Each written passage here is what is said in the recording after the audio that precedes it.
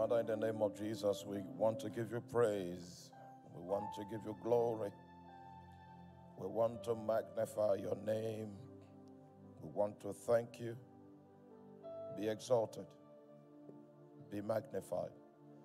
Thank you for Festival of Glory. For everyone whose dark heart was open to the light of salvation, we thank you. For the path that you have secured before them in their walk with you, we thank you. We ask tonight that you show mercy and exalt yourself. Make for yourself a great name. In Jesus' mighty name, we pray. Amen. You may be seated. God bless you.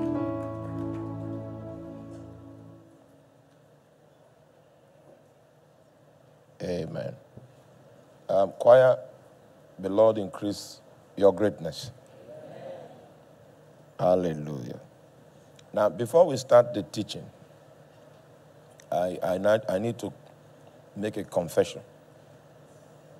I'm just waking up now. so, the prayer I'm supposed to pray to secure the anointing to bless you, I didn't pray that prayer. Yeah, so you know, I, we have to, we are becoming old, so we have to tell you the way it is. Just in case you are expecting so many miracles today, yes, I'm not saying that if I have not filled the measure of prayer necessary, that the mercy of God can move. But I'm just telling you that the prayer quota was not fulfilled. May the Lord give you understanding. All right, with that knowledge in, in mind, we can now proceed. The contradiction that I spoke about yesterday, hallelujah, is in the fact that a believer desires to do right, but he finds himself in a state of incapacity where the things he desires to be able to do, desires to have a robust prayer life, desires to be able to walk with God, desires to be able to do great things for God. And he finds an inability to prosecute the things that his heart sustains about the things of God. That is what we call the law of death or the law of paralysis. This paralysis of which we speak, someone that has a paralytic issue um, might desire to walk, might desire to stand up from the chair. So the desire is there, but there is an inherent inability to translate this desire into manifestation. That's the law of death. And then the law of sin is that the person wants to stop doing something. Wants to stop doing something because sin it gives you an ability in that sin is a power and power is the ability to do work. So when we talk about sin, we're talking about an ability to perform. So someone is in a negative performance. The person is on cigarettes. The person is on pornography. The person is in masturbation. The person is involved in one or two things that are contrary to the nature of God. And according to the word of God, the person has received sufficient illumination to educate that individual that what he or she is involved with is not consistent with the nature of God. And there's an inherent desire to stop doing that thing, but the person finds a contradiction. And the contradiction is that he wants to stop, but he doesn't have the ability to stop. Even though the will has registered it, there is an operation uh, that is at work that is superior to the authority of the will of the individual. So we have two stages of contradiction in this presentation having an intention to do right, but not having the ability to do it, and then having an intention to stop wrong and not having the ability to actualize it. Are you still here? Now, so that's the state of someone that is under the power of sin.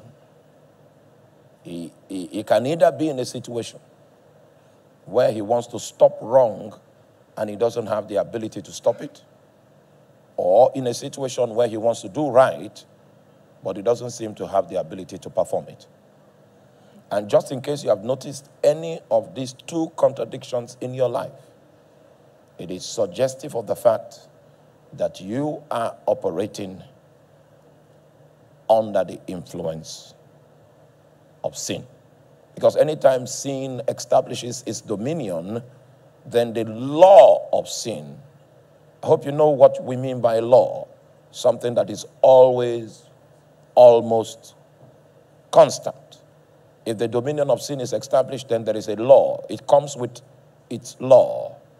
And that deficiency, that limitation, is going to be a reality that is almost always constant. On Tuesday, you want to break free and you want to stop doing some things, but when the scenario that is suggestive of that thing shows up, you will find out that you do not have the capacity and the ability in yourself to, to prosecute your intention. It is a proof of the fact that the law of sin is at work. And whenever the law of sin is operational, it is suggestive of the fact that sin has made you captive. Now, God is aware of the fact that sin has the intention to make you captive. So he provided a solution for us to live in victory over sin. Are you, are you with me? The Bible is an open book, and the gospel is a simple message. And any true follower of the gospel or any true preacher of the gospel should have loads of testimonies in his own personal life as to how he was able to find victory in the grace of God. I, I am fifth born in my family. And because I have four people that are older than myself, and they have strange abilities to slap. Strange. They're equipped with powers of slapping. So I, I devised a technology of survival. It was a survival strategy, and that was lying. And it worked. It worked for a long time until a problem now emerged.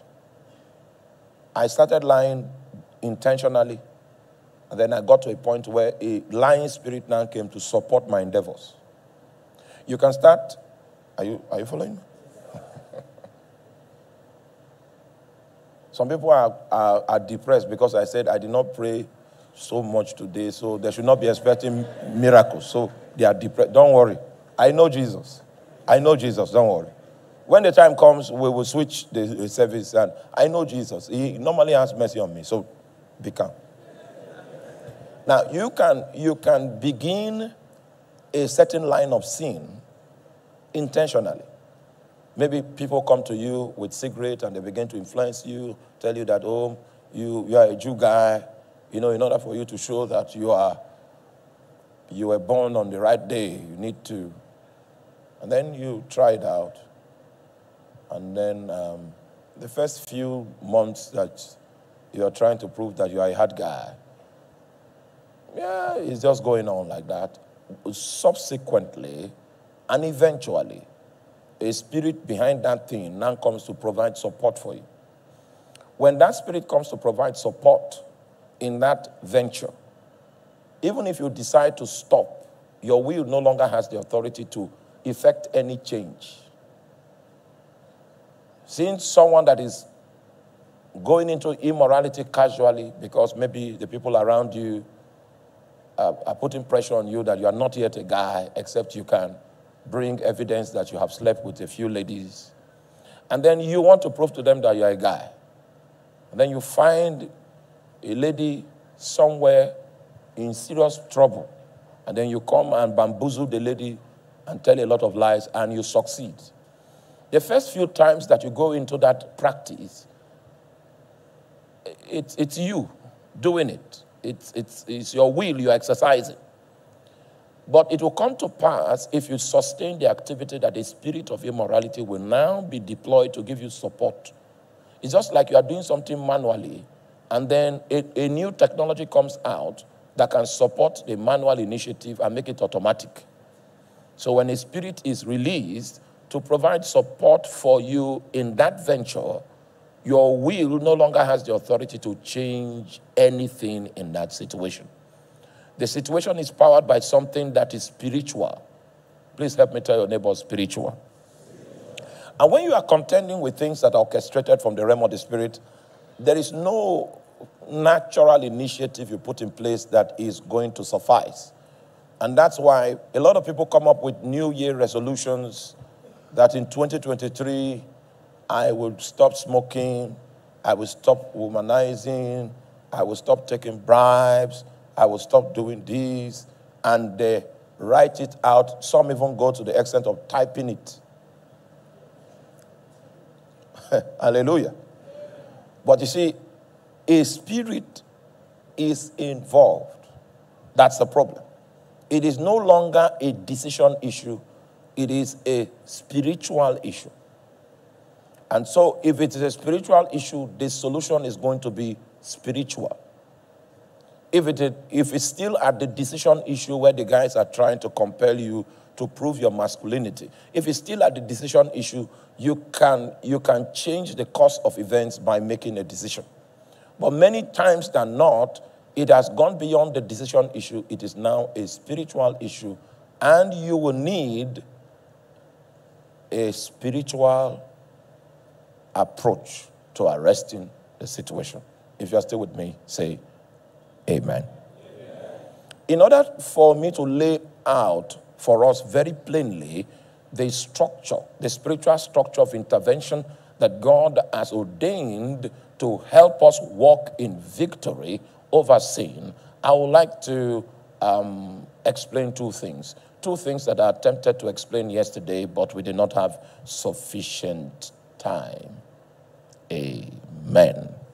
First thing is the flesh, and second thing is the spirit.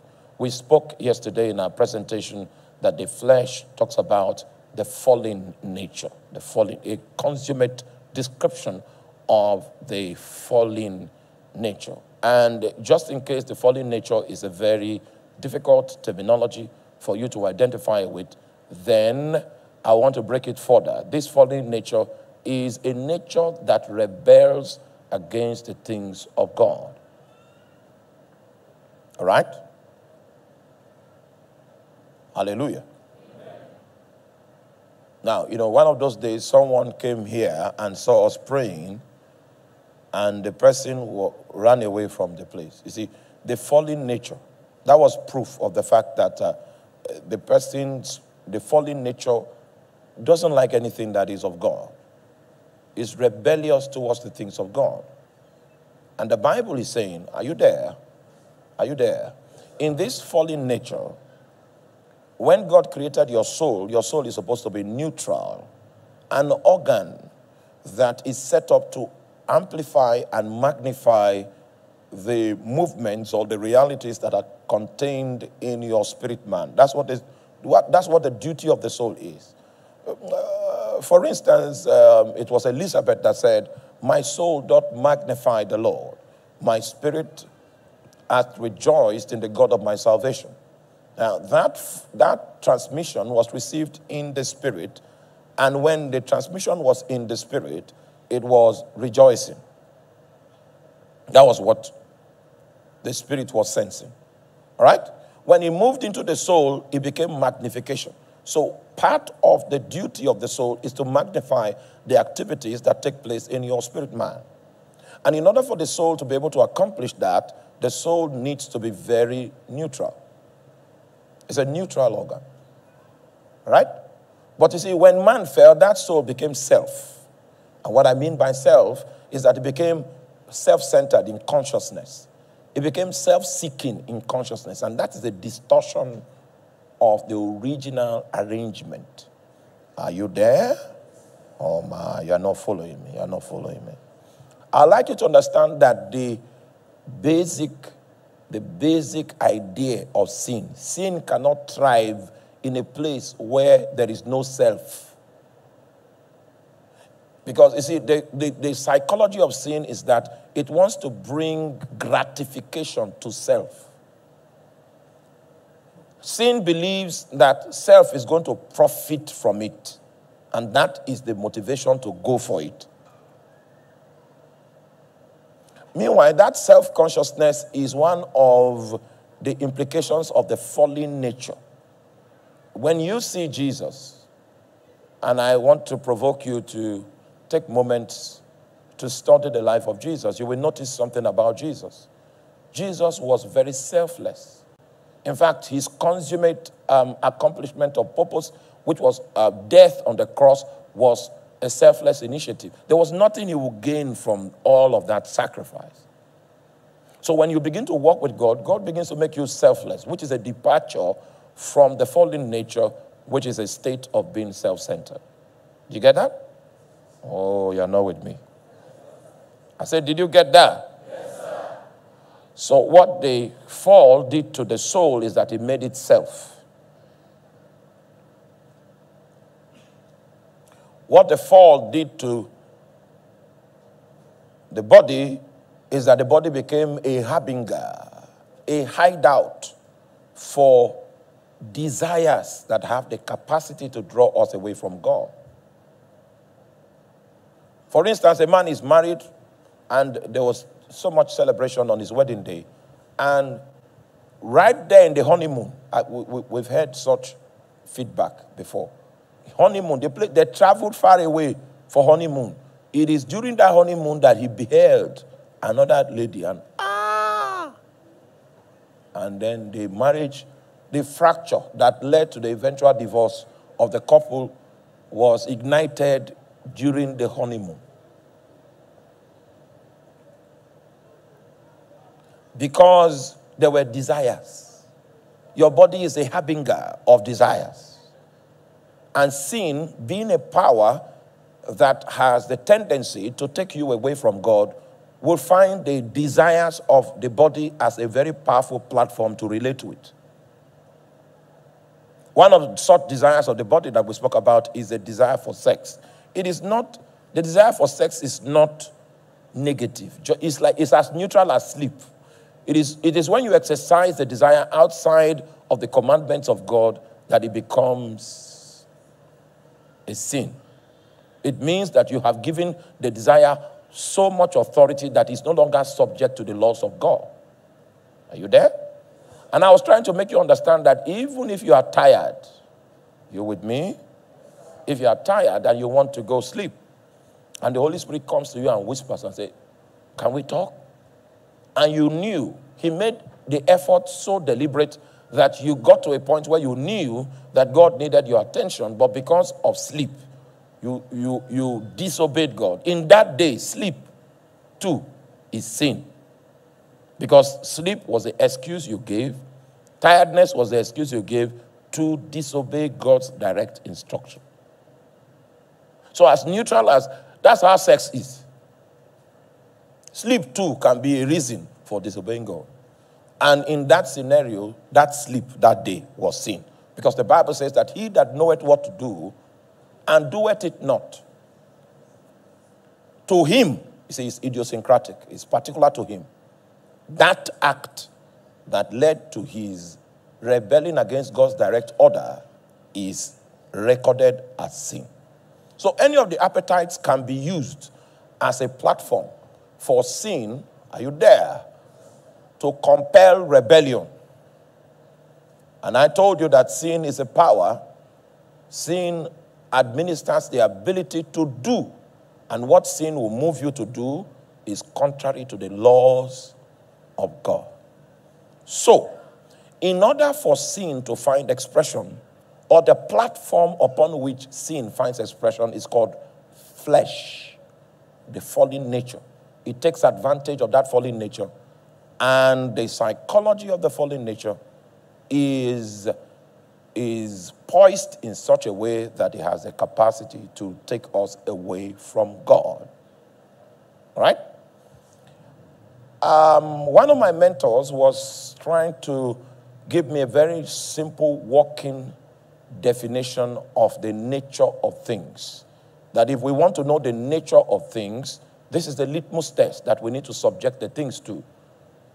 The litmus test is does it bring us toward God or does it take us away from God? Are you there? If you want to analyze something, that's your relationship that you just started. Is it enhancing your walk with God or is it taking you away from God? If it is taking you away from God, it is a platform that sin will use to compromise your work with God. You get that? So the Bible reveals that sin is domiciled in the flesh. Sin thrives in the fallen nature. That's where sin is domiciled. All right? If there is any loose end in your makeup that is not ultimately under the authority of God, that will be a powerful operating system for this power called sin. It will interest you to know that uh, for the whole of time, as vast as time is from the perspective of humanity, for the whole of time, God is preoccupied with one assignment and one assignment only for the whole of time. What God is preoccupied with achieving during the course of time is to bring everything under the authority of the administration of Christ. See, anything that is not under the full scope swing of the government of God becomes it becomes a loose end that can facilitate the agenda of this power called sin.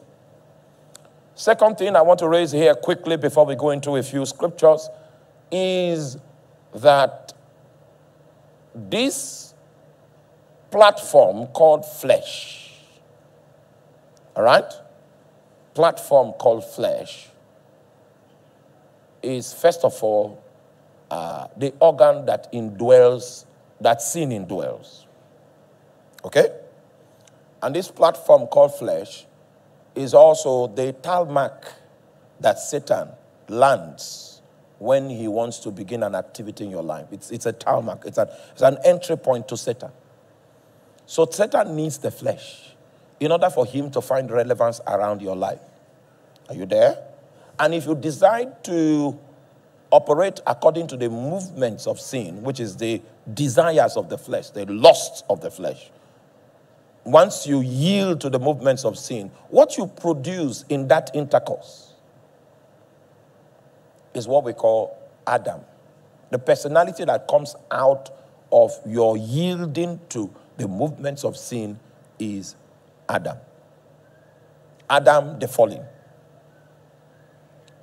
Adam the rebel. That's the personality that finds expression when you yield to the intercourse of the promptings of sin.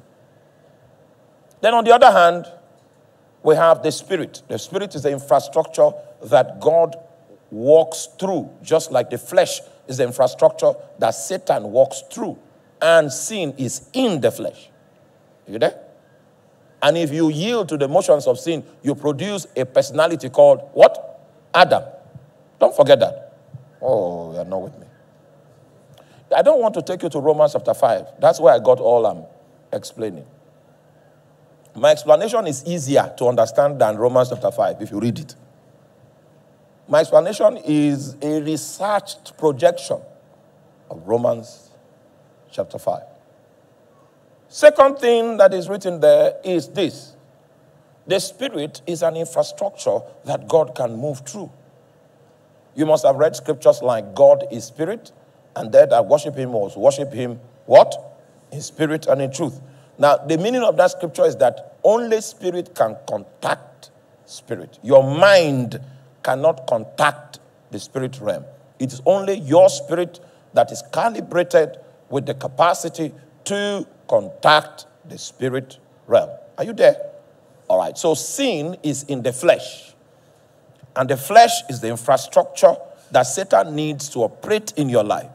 And if you yield to the flesh, you produce Adam. Is that correct?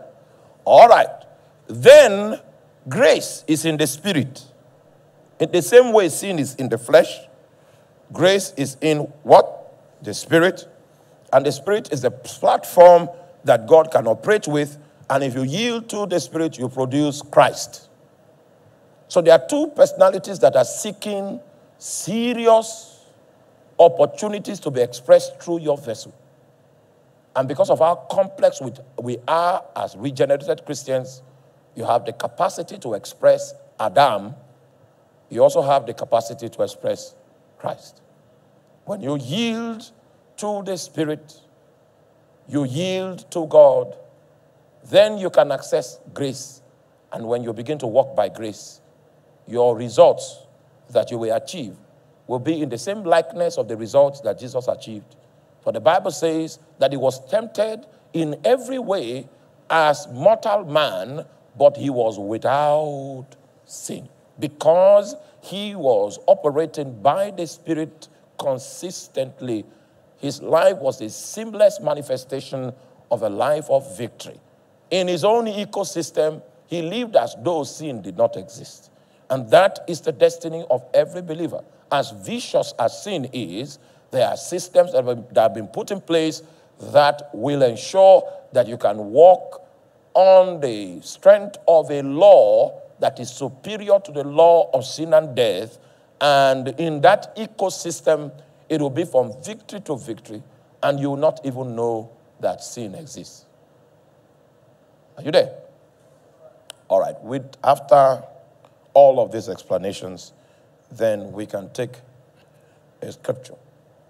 And the scripture will be Romans chapter 8, beginning from verse number 1. Romans chapter 8, that is our first, first text for the night. Romans chapter 8, beginning from verse number 1. You see, how I wish I had days, days to teach you on grace. Grace you don't need to be qualified for anything in order for that thing to happen to you. If you know how to walk in grace. Hallelujah. Mommy Budu. Your women that cooked for us during the crusade, are they all present here today?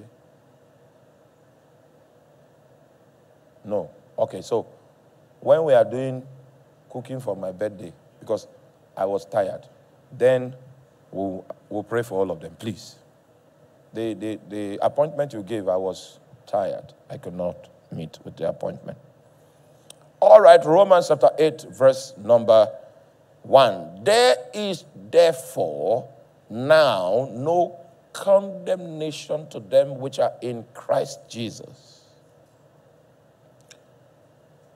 There are three requirements that this scripture reveals concerning living beyond the reach of condemnation. Are you there? How many of you can still visualize the, the weapons of our warfare mentally? Can you visualize it? The shield of faith, the breastplate of righteousness, the sword of the Spirit, can you, the belt of truth, the helmet of salvation? Can you visualize it? Now, let me show you something quickly.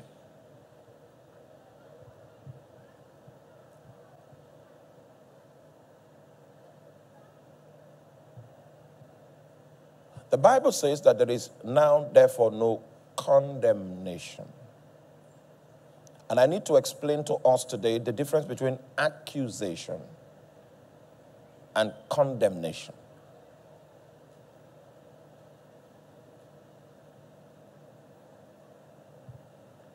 Accusation is from the devil. Condemnation is from God. God is condemning something. I remember when, the, when we were building this building, I rebuked somebody.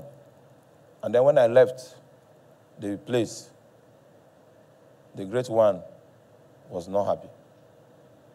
So he condemned my approach. So I came back and I called the person and I apologized. And then the great one inside of me became excited. Now, so God is a righteous God. And anytime you operate contrary to his nature, he will send you a signal, a signal of his displeasure. In fact, that is a blessing that God can still register his displeasure is a proof that you are still spiritually healthy. If God gives up on you, part of the first blessings you will miss is the ability for him to register his displeasure about some things that you are doing that is not comfortable with. He will just leave you. You have come to a point where your heart has become reprobate. And that means you are going, you are going headlong into darkness without any form of barricade, no bump on the way. It is that kind of living that can make a man cross the line of grace and lose his salvation. You know, I told you yesterday that the only thing that is not captured in Scripture is how much of sin you will sin before you lose your salvation. But the fact that you can lose your salvation is, is clear in Scripture. And I told you that there are 80 scriptures that are suggestive of the fact that you can lose your salvation. 80 in the New Testament, not in the Old. 80 scriptures in the New Testament. And that is a researched opinion. And one of the 80 scriptures is that God threatened that he will blot out some people's name from the book of life. And nothing can be that clear. Once your name is blotted out of the book of life, you are no longer in the community of them that are living by the life of God. You there? All right. So, God comes to register his displeasure in your heart that a particular activity that you have carried out is contrary to his nature. And when God gives you that act of mercy, if you still have any virtue of sincerity left in you, you are supposed to respond by repentance and you sustain the repentance until it is evident that the Lord he has accepted your offering of repentance. Should I come again to you? Should I come to you? Amen. Don't joke with issues of restoration.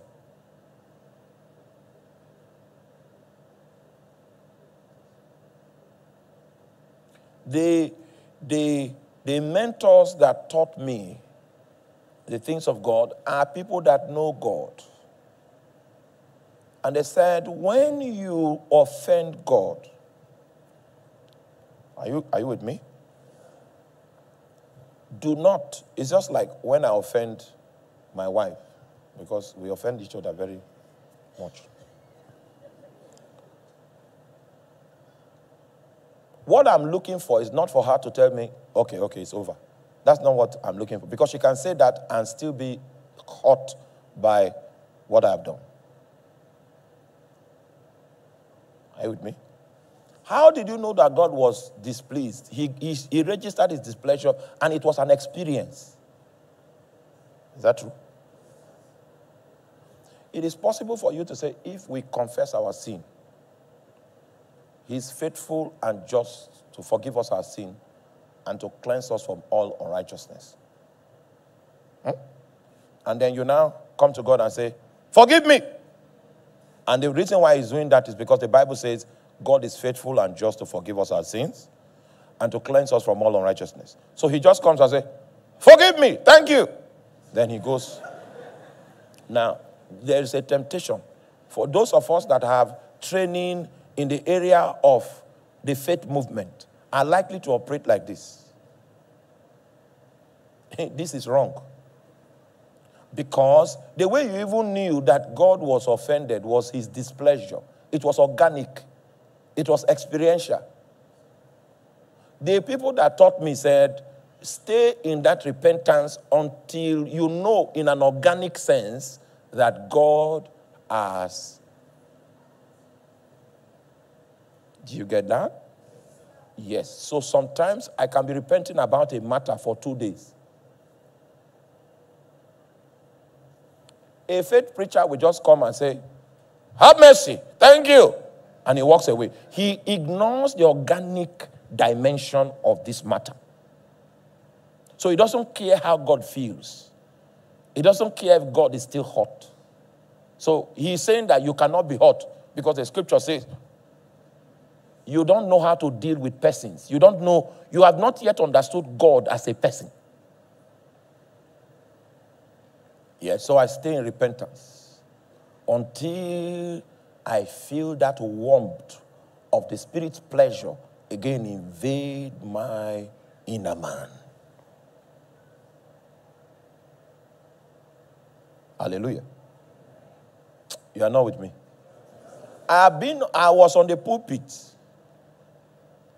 and I was explaining something, and um, I, yeah, I was explaining something on the pulpit, and I think I gave something like an exaggerated estimation of what I was describing. And the Holy Ghost stopped me quickly. That he just, I, I lost my IP. So I knelt down on the pulpit. Or people may not understand. They say, Kai is high in spirit. No, I'm trying to, I'm, I'm working on something. So I knelt down there and I said, Ah, okay. So me and him now settled. And I knelt down for a long time. So when I, and then when I stood up, you will not believe that when he was angry, the anointing lifted. So I knew that there was no need to continue that presentation because there was no support from him. So I had to stay there and plead and plead and plead and plead. I led the congregation to pray. I said, It's time to pray, it's time to pray. So they thought that maybe the, an angel, I discerned an angel. No, I was trying to make up with God. And then when the sense of peace now flooded my heart again, I stood up and the anointing that night was so powerful. So always know that God is a person. And the, the Bible is a guideline of possibilities. But when you are relating with God, know you are relating with a person that can be hot. And if you are trying to uh, uh, uh, advance a reconciliatory move, ensure that the person, the organic dimensions, suggest that God is appeased. That is how to walk with God. So the Bible says, and now there is therefore no condemnation for them who are in Christ Jesus.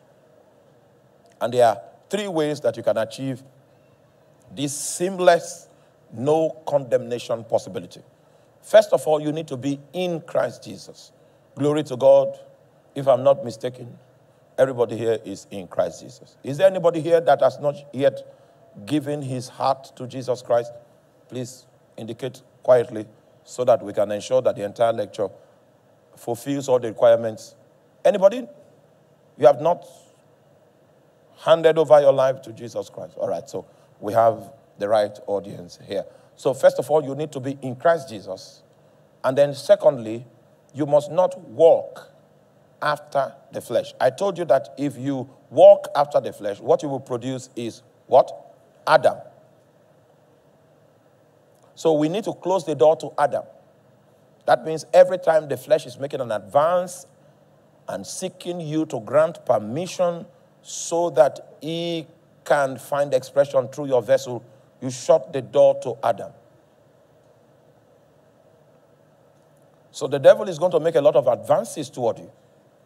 And it doesn't matter what spiritual level you are operating in, the flesh is mingled with your reality.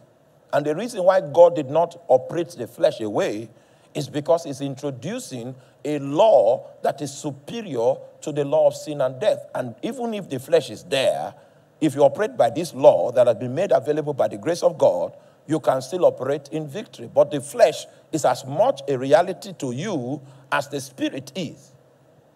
But you see, you will need to consent to allow the flesh expression, or you need to consent to allow the spirit expression. Your ability to give your consent determines which program runs in your life. And that's why at this point, choice, choice is man's most important power. Most of you have read my book. In the kingdom, choice is your most important power. The choice to shut down the flesh and to walk after the spirit is a grand choice that every believer is faced with making every single day. Hallelujah. I say hallelujah. Every single day. So, this is what you do you shut down the flesh and you subscribe to the spirit. Now, you know, are you, are you with me? Are you, are you here? All right, so we have seen in, in this our lecture, the grand title is The Path of Spiritual Progress. And we have seen that the first item on the path of spiritual progress is you must have an accurate position with respect to sin. The second item on the path of spiritual progress is called yield. Can you tell your neighbor, yield? Now that we know that grace is in the Spirit, then we must learn how to yield to the Spirit so that the Spirit can always have expression through our lives. I want to say this quickly before we move on that as you are learning how to walk with God, you will make mistakes. You will insult, you will move in the flesh sometime and insult people's grandfather. When you notice you have done that, repent. And if possible, go back to the people and restitute. You see, the reason why we are saying go back and reconcile is because the more you reconcile, you are working against the flesh. And it will be more difficult for you to do that kind of thing next time. If you put yourself under pressure to go back and reconcile. And for, for, for me, are you with me? I don't allow the sun to go down in reconciling. I'm not too big that I cannot retrace my steps. I'm not too big. The, the one that is too big is God. And if you want to walk with God, uh, the Holy Ghost is going to assume that you are not too big. Except you are actually too big. so, so once and again, the Holy Spirit will ask you to go back and reconcile. And when you do that, you will enter into victories of grace. It will be very difficult for you to err on the same point again. So we are learning how to walk with the Spirit. We are not on the same level. So the seamless way in which we coordinate ourselves in the Spirit will be on different levels. But get this from me, just in case you find that you were overwhelmed by the flesh and you operated by the flesh. When you have sought restitution, you have sought forgiveness from God through repentance. If someone is offended by that action, labor to go there and reconcile. Even your act of reconciling can become an open gate of salvation to that person that you went to meet. Are you with me? So now, we are in Christ Jesus and we need to walk after the Spirit. Walking after the Spirit begins with the big word yielding, yielding to the Spirit. Because grace is in the Spirit. And if we walk by grace, we are living the life of Christ. And you will notice that the believers were first called Christians in Antioch because they were living like Christ. And so the people in the community called them little Christs.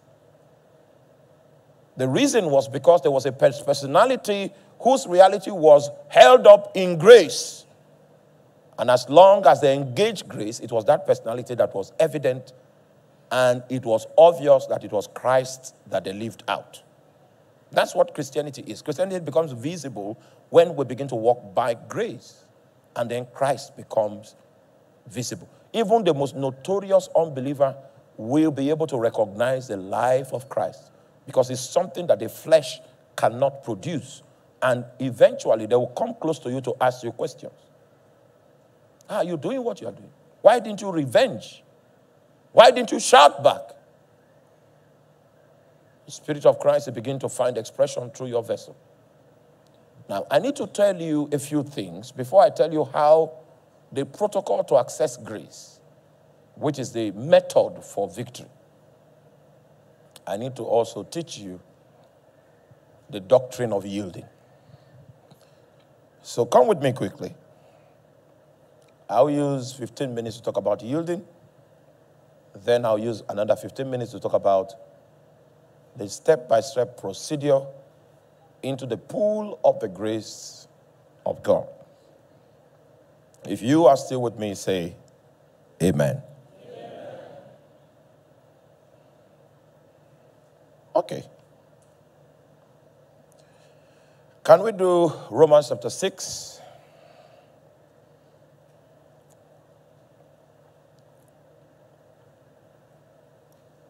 Maybe we'll begin from verse 18. I'll show you something quickly. Romans 6 18. It says, Being then made free from sin, ye became servants of righteousness. Remember that there is no vacuum in the spirit. There is no vacuum in the spirit. Sin wants to make you its servant, right? If you are free from sin, your destiny of servitude is still in place. You may not know, but we were designed to be agents of service. So you are either serving sin or you are serving righteousness. So if you are free from sin, there is no neutral zone. You need to become a slave of righteousness. I'm just trying to build the consciousness that you should walk with. I have only one orientation now in the New Testament, and my orientation is that I am a slave of righteousness. I have no other job description. And everyone under the sound of my voice, just in case you are a beautiful lady, your beauty is not, is not an object of marketing for immorality. In fact, your beauty can become an attraction for evangelism. As people like the product and they navigate in your direction for strange reasons, you become the beauty is a bus stop, it's a prison, it's a chamber through which impact is made.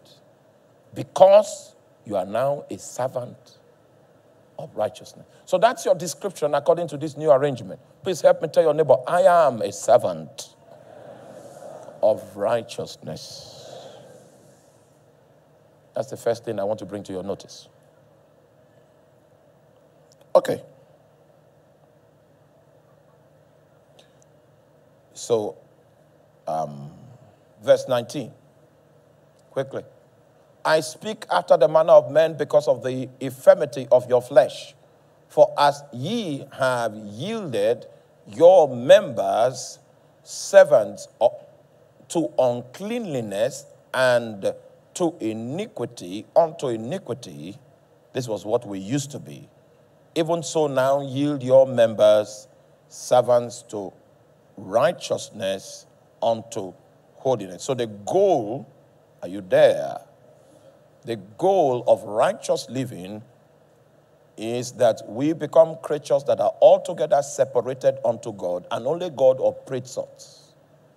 The goal of righteous living, and it will, it will, it will interest you to know that our new nature, our new nature is the nature of righteousness. That's how we are constituted by the life of God that we received on the strength of our redemption. So, can you tell your neighbor again, righteousness is your new nature? And holiness is your new lifestyle. So, when you see the word holiness, we are talking about the lifestyle of the believer because his destiny, his design is that he be separated unto God. But now that he knows that he is a slave of righteousness, then the goal of holy living can now be achieved. Are you there? Okay. Verse 20 For when ye were servants of sin, ye were free from righteousness. Had ye then in those things wherefore whereof ye are now ashamed, for the end of those things is death. So if a man walks according to, this, to sin, the goal of sin is to bring you to a point of death, either spiritual death, damnation, anything, death of grace, death of health, death of all kinds of death. So the goal of sin is death. And I can show you in scripture where death is not an event, but death is a process. And I can also show you in scripture where death is a goal. Is a goal. Okay? So the goal of sin is to bring us into the economy of death in all its shades and all its colors. But now being made free from sin, ye became servants to God, ye have your fruit unto holiness, and the end of a holy life is what? It's everlasting life. Don't, don't forget that. The end of holy living is what? Everlasting life. And so that's, the, that's, that's what I want to draw your attention to. There is a very big picture that is connected to uh, the presentation that we are making, and God is calling us to holy living because once holy living is in view, then we are en route life eternal. God bless you in Jesus' mighty name. So now uh, let's go further in Romans, into Romans chapter 8. Romans chapter 8. Romans chapter 8, verse 2 is an explanation of the provisions that we have in verse 1. He said, For the law of the Spirit of life in Christ Jesus. Now, so the Spirit of life in Christ Jesus has a law. And I define the law to be something that is almost always constant. So if it is constant, it means it is dependable. We can depend on it, we can bank on it because it is constant, it's always constant. Now, the Bible is saying that the law of the Spirit of life that is in Christ Jesus is superior to the law of sin and death. The law of sin and death, if it's operational in the life of a believer, is proof of the fact that an aspect of the believer's life is under the control of sin. But you see, the law of the spirit of life is superior to the law of sin and death. It means that God is calling us to operate according to the law of the spirit of life. And if we operate in the law of the spirit of life, we will be over and above the law of sin and death. Temptations will come, but it will not produce what Satan expected. Trials will come, but it will not produce what Satan expected. Because we are operating with a law that is superior to the law of sin and the law of death. Are you still here? Are you with me? Hallelujah. All right. So, my job this night is to explain to us what exactly is the law of the Spirit of life. And it will interest you to know that this law is only obtainable in Christ Jesus. In Christ Jesus. The law of the Spirit of life. I gave an example yesterday that we have the law of gravity. And the proof of the law of gravity is that if I let my handkerchief down, it always comes down. There's no time that it floats in the air. It means there is something responsible for its downward motion. And that was discovered by scientists to be the law of gravity. And then we said that there is a law of lift. The law of lift is what the airplanes use. Buoyancy and lift is what the airplanes use. And the airplanes, hallelujah, the law of lift does not undo the law of gravity. It's just that it is superior to gravity. It can operate in spite of the presence of gravity.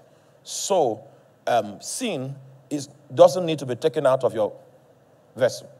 It's just that you hook up to another law and it looks as if sin doesn't exist in your per- perimeter. It is a higher law that you have engaged. Even though there is sin in the environment, there is sin around, you can step on sin and go without being contaminated.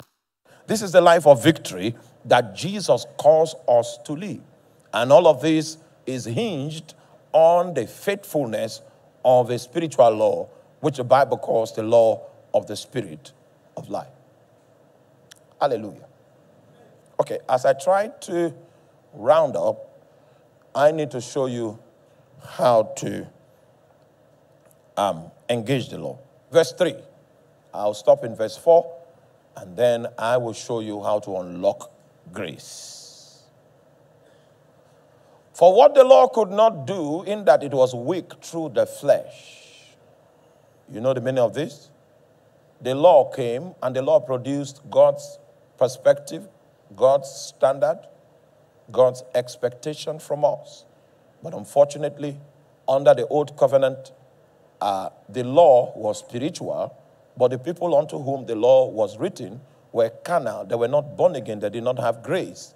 They were fallen men, and there was no way they could fulfill the demands of the law. So the law could not produce righteousness in itself. The law could not produce rectitude, moral rectitude. The law could not produce integrity. The law could not produce or command compliance. Now, if you go to, to, theological school, you see a lot of Bible arguments from left and right. And that's what a theological school is all about, anyway. So you find a, a set of theologians. Uh, no, let me forget about. I don't want to educate you about some people's negative thinking. But eh, because the theological school is a, is a space, a scholarly space, so a lot of scholarly allowances are, are accepted. All right? So uh, some scholars have brought great arguments. That the, the way we knew we were sold under sin was because the law came and showed us our infirmity. We didn't have the consciousness of sin before until the Lord showed up. Are you there? And you know, I told you the purpose of the law. The law was designed to show us, first of all, that we are guilty. It's a parameter that revealed our state of being guilty under God.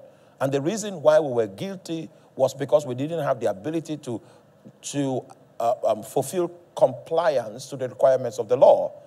And then the second purpose of the law is to make, remove the possibility of boasting from humanity. See, when you are guilty, you try to do it, you cannot do it, you will not boast again.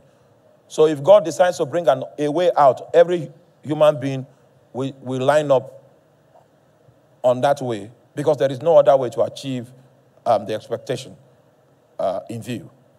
All right. So, so he said the law could not, what the law could not do, the law could not produce compliance, could not produce um, integrity, couldn't furnish righteousness. Uh, it was weak because of the flesh. The problem was not the law, the law was righteous, but the problem was us. We did not have the ability to fulfill what the law was revealing, so the law became an object of condemnation uh, so that we will not boast and we will be humble enough to accept God's solution. God sending his own son in the likeness of sinful flesh and for sin condemned sin in the flesh.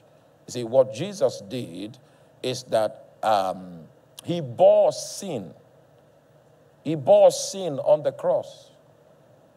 There was judgment against on sin there was judgment on sin on the cross because the reason for which the Father turned his face from Jesus was because Jesus became sin. He took on that rebellion of sin on himself on the cross and dealt with it. It is because he dealt with it that grace became a power that is superior to the oppression of sin today. So, this is the legal framework of our liberty that Apostle Paul is attempting to unveil to us that sin was dealt with, sin was condemned on the cross. So, legally, sin uh, uh, uh, being condemned on the cross paved the way for us to enter into that life that is sustained by a law that is higher than the law of sin and the law of death. Number four, verse number four, that the righteousness of the law might be fulfilled in us. You see, there was a righteousness that the law spoke about, but the law did not have the ability to furnish because the law could not give life. The difference between the law and grace is that in grace there is the impartation of life. Grace operates by the Zoe of God, by the life of God. See, but the law could not give life. The law could only show the value system of heaven. And there was a limitation with that entire framework. So God had to orchestrate a new system. And that is what we call the system of grace.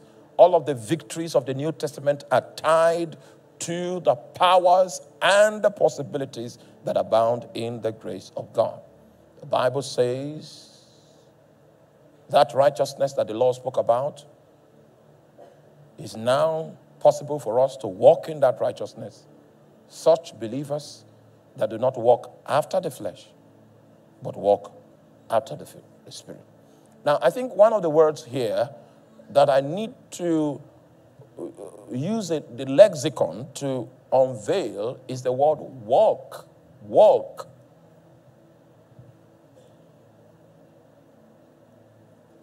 Are you with me?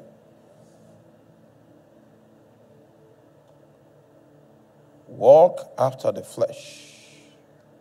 Where we were in Romans, Romans chapter 8, verse number 4. Okay. Walk. If you have a strong uh, exhaustive concordance, you'll find it on pilot number G4043. And if you click on it, you will find the source of the use of this word. And uh, it actually means, uh, oh, he has a few words here. One is to be occupied with, another is lifestyle. Lifestyle. Okay? Now, so if we say we are walking after the flesh, the implication of walking after the flesh is going to impact our, our lifestyle. If we say that we're going to walk after the spirit, it's going to impact upon our lifestyle. Have you heard people that say Christianity is only is of the heart? They lie. The reason is because of the use of that word walk. If you are an accurate Christian, it will be revealed in your lifestyle. The, the litmus test of your Christian life is your lifestyle. That's the check that you bring out, that you are in compliance. So there's nothing like if you are a Christian, it is in your heart, it is hidden in your heart. Only God knows the heart, so nobody should judge you. There's a lifestyle component. In fact, the Bible says that the moment you become a preacher, a preacher, it means you number among the elders. Before you can become a pulpit minister, you must number among the elders first. Because every pulpit minister was first or is first an elder, and indeed is still an elder. And when we say eldership in the body of Christ, we are talking about people that can be saddled with the responsibility of oversight. And if you are going to oversee souls, you are going to be in the way, in the face of people that you are leading to God's estate in heaven. You are going to be in their face, the Bible reveals that an elder must be what? Blameless. Blameless. You will discover that the requirements for eldership, in the requirements for eldership, you will not find anointing requirements. You will find character requirements. Just go and study your Bible. So, that idea that Christianity is um, of the heart, that's, that's one of the wisdoms that came from the flesh to endorse compromise. Going by the Greek word that was used for walk here. Walk. Now, this is what I want you to know the flesh has motions, the flesh has desires. If the flesh is making an advance at you, it throws desires at you, it throws lusts at you. Then it seeks to intensify the validity of these desires and to make you captive to them so that you don't see any way out other than yielding to the desires and exploring their adventure. The Spirit of God also has promptings. The entry point into the things of the Spirit is through movements of the Spirit which is form of prom- promptings impressions. Are you there? So, as the flesh is, uh, you must understand that the flesh is more violent than the spirit in terms of invitation. The spirit is gentle, the impressions are so gentle, and they stand to be despised. But the flesh is so violent, and when it registers an impression on you, it's so tough, so tough that you cannot cast it away by just changing your channel and getting preoccupied with something else. It will still stand in your face. That thing you want to do to distract yourself, it will come there and it will consume your attention.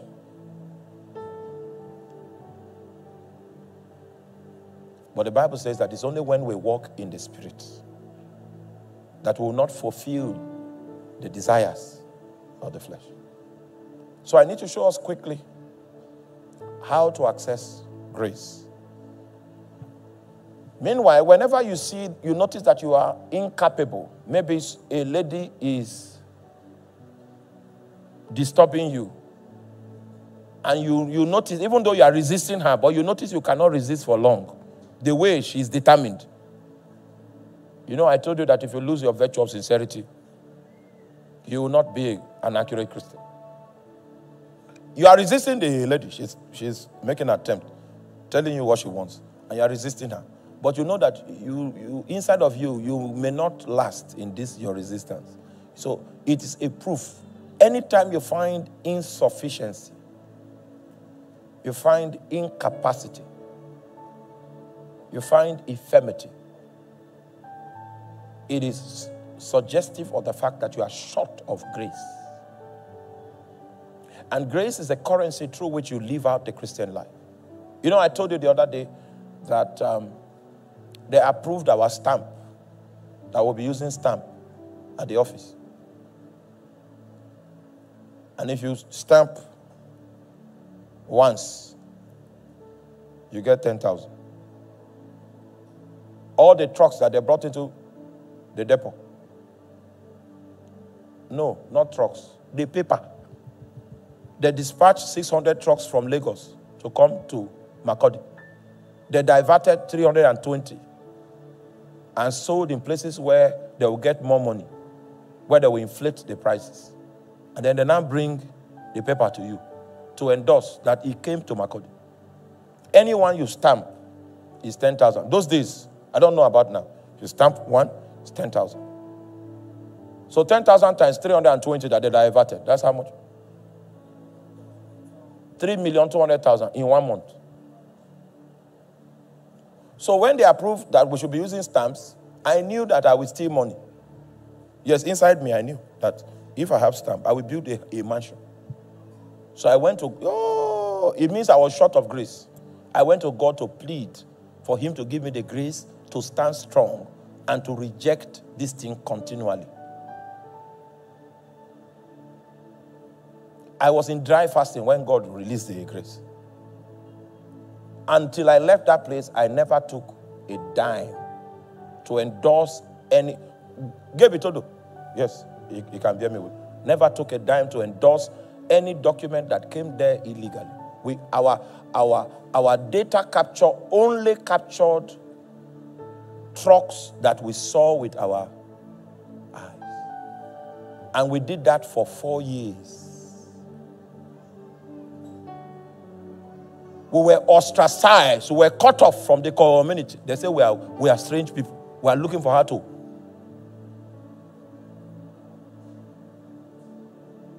Just a few set of people against the entire community.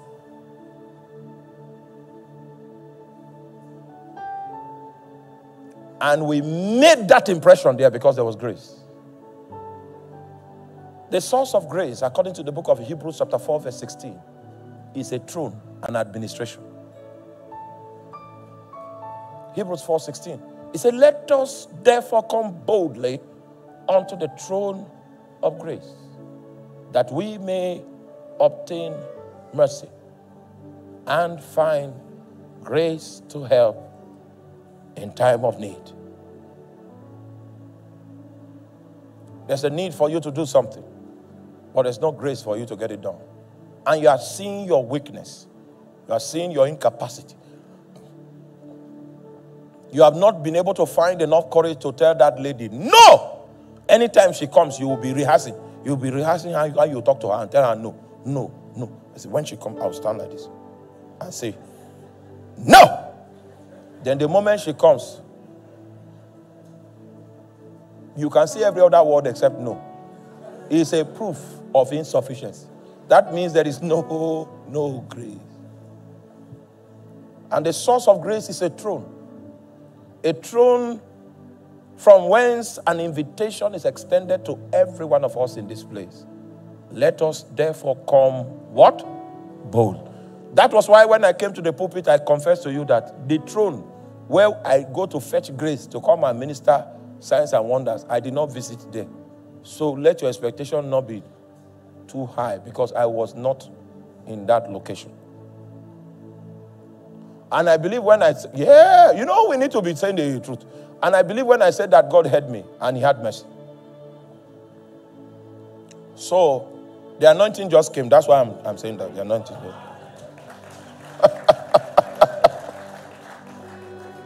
I assure you, you, you, you have no power of your own. And the earlier you know that,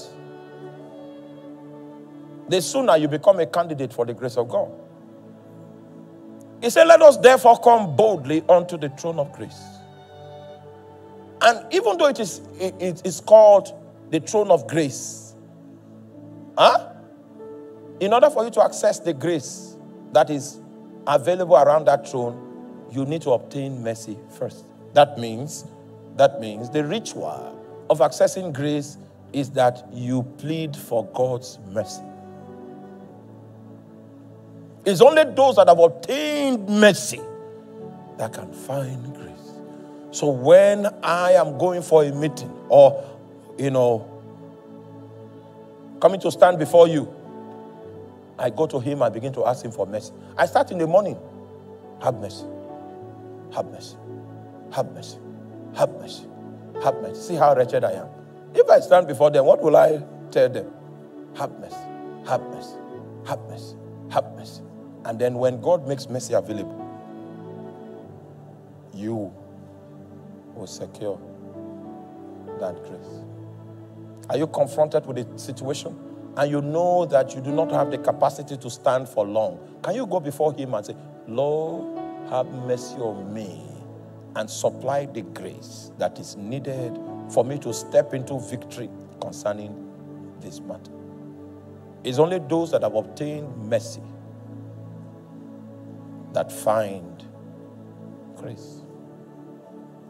And when you find grace, it will become evident. Because grace is the ingredient that opens the door into the law of the Spirit of life in Christ Jesus. Suddenly, you will see a strength beyond your human strength to resist iniquity. You will see an ability beyond your human ability to say no to, to darkness. No. No. And people will look at you and say, Oh, he's a disciplined man. They won't know that your secret is that you found grace. It is not of him that willeth. It is not of him that runneth. It is of God. You might see him running and say he's such a great runner. No. He's not in the running. Yes, you saw performance. But the secret behind the performance was that one, somewhere along the line, he obtained mercy. It is that mercy that gave him access to the grace that is playing out supernaturally around his life.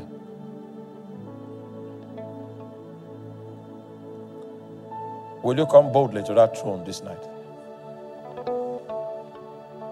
The occupant of that throne happens to be Jesus Christ. He's the one that sits in the throne that administers grace. There is an office in the spirit that administers grace. And the, your entry into this office space will require boldness. And the reason why you can be bold is because he paid the price.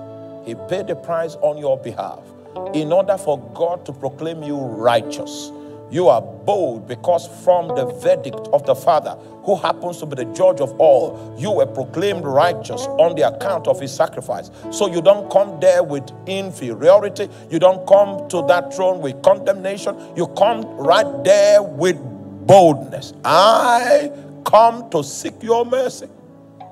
Oh God. Sakoria barakanteli. So condemnation comes from God when you you you violate his nature. But accusation comes from the devil. Hallelujah. Accusation comes from who? From the devil. Please don't don't don't mix the two. Condemnation. God will register his displeasure. Accusation comes from the devil. Where he, he, he raises something. Maybe you have gone to God and obtained mercy on a certain fault that you made many years ago. And then suddenly the devil resurrects it. And he resurrects that, the memory of that fault, in order for him to plunge you into depression, plunge you into becoming, uh, operating in a pity party.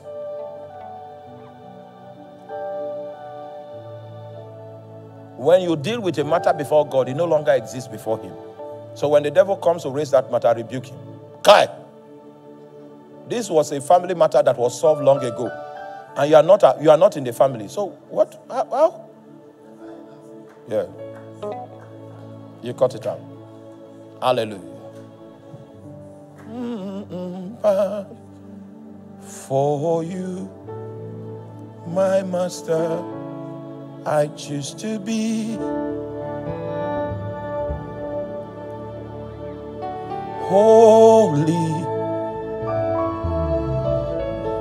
set apart for you, my master.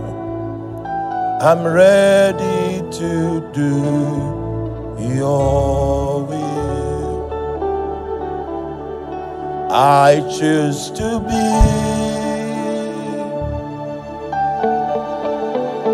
holy, set apart for you, Lord. I choose to be. Isaito perimanteli no koberasi. Bruska fetamonde babarakadi anze zole. Marasku petamen. Jabria lababons ketese sesilo mokoria. Zabroske tobija ni kobrante. Mabriko balabonjame. Eskufi la mesia katebonda mama mahaita.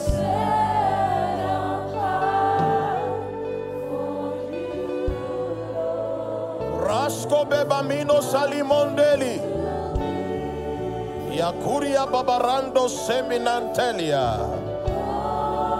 Antebrosketa baratos keto brenda mamuzahiko belamandeli. Abrominasiko breva la bababaya. Ready to do your will.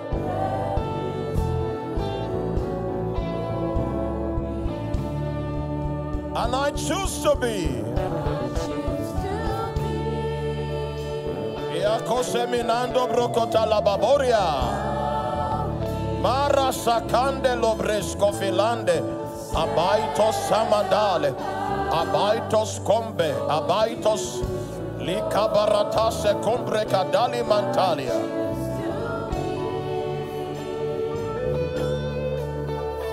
Eso se la brisco fe la.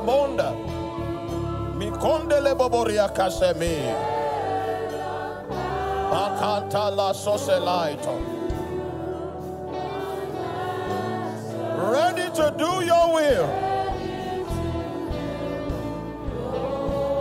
One more time, make that declaration. I choose to be holy, set apart for you.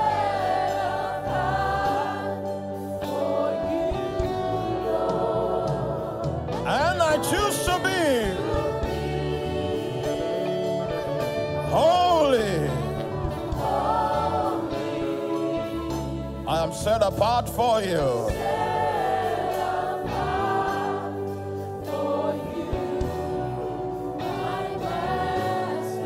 Ready to do your will. One more time, I'd like you to declare again I choose to be. It's a choice. It's a choice I make tonight. Ase solimalando briala baboska.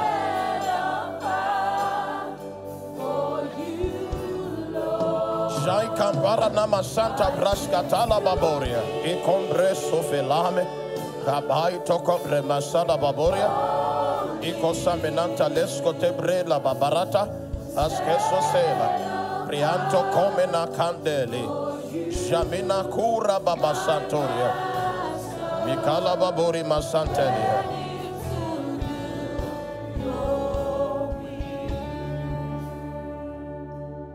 It's a choice I make. Before I begin to minister to the congregation, I want us to pray.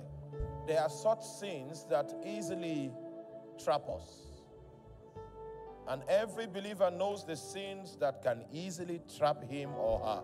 Can we ask that the Lord will give us grace against those sins?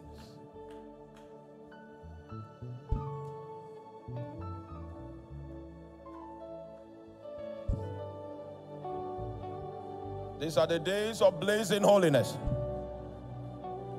And the Lord is meaning to restore the glory of His church in this day. Issues concerning sin must be visited at this time.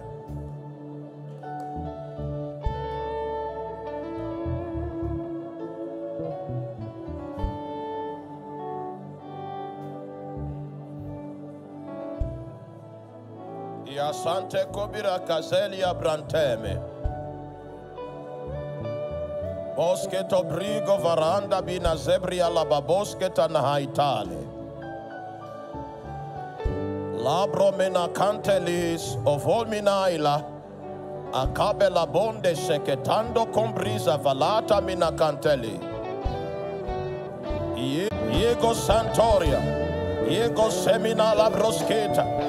Abresco velanto, abresa menacadia, abremena conta, abresantelia, abrescomina, abresamalaita, abresamalaita, abresamalaita, abrasamalaita, akabanda babonda, akabala basanta, akabala basanta, ikabala basanta, abrescobilaita, abrantesile, abracantale, Abrakuza mantali bonde. Eko semina kadelia. Eko samanta unde. Yakaba baratalia. Abraske tonde. Asimantala boda. Abranta bakuda. Ezozena itete. Abrema siga. Abalaito. Esumadeli ekabelaito esaminando ekebresko fela ikobande zamande ikabresko fila mantalia akande babonde asama kuria bahade bosige oh lord briase kobilantoria in the name of jesus wherefore seen we also are compassed about with so great a cloud of witnesses. Let us lay aside every weight. Now, the first thing we need to lay aside are weights. Anything that puts pressure on your life in terms of your commitment to God is a weight. A relationship can be a weight. Bribe money can be a weight. It can make your heart heavy. Are there things, conviction? A deep conviction. A deep conviction that comes out of, of an understanding of the expectation of God. A deep conviction. A deep conviction. A deep conviction. He said, Let us lay aside every weight. Lay aside every weight. Lay aside every weight and any sin that so easily besets us. Can you lay the weights aside right now? Thank you, Lord. We lay them aside. We lay them aside. We lay them aside. Aisa konde berekadia. Oria caparada masugle braskedia. Ruben asiko bresco filamina cante bregadela zubria la babonde. Anta laba barakata barasata branda baboria. Gemini ton seca banda. Rakabatala babonde. Yadosi cobresco falante. Icobase sali. Raketambre sufilando. Akabarata basanta baboria. Askeminan seli. Askeminan cantele. Akanta babode sala. Akanta basia lato. Ebraskeda bonda. Ebras cantele. Ebras sabalata. Ebra caparadalia. Esuminateli. Ekanta baboria. Asima selibonde. Ante boroske. Ante boroske. Ante boroske. Asama selimante. Ikabarata babaleto. Ezobina kadelia. Ambria kaskebe. Asoselaminde. Yalebo sekaya. Yatabonda. Yataskeli bondelia. Alama mama masu. Akaita barata babonda. Oh, we give you praise. We give you glory. Yalabia siko. Rico Santa da Babarakada. Brasatalia. Endoria Capre Sico Barato Si. Ebrasca Tomina Kanda Babolia. Abresco Felante. Elante Babonde. Elante Basaka Tala Oh, we give you praise. In the name of Jesus. All right. I have like 15 minutes to minister. 15 minutes to minister.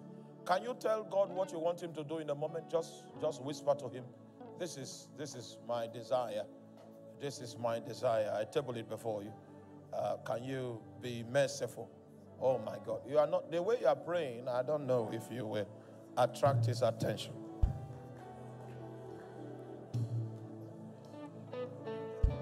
Ziamo sekilande.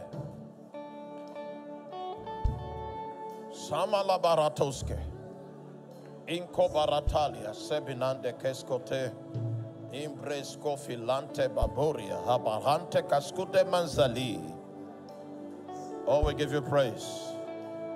We give you praise. We give you praise. We give you glory. We give you glory. We give you glory.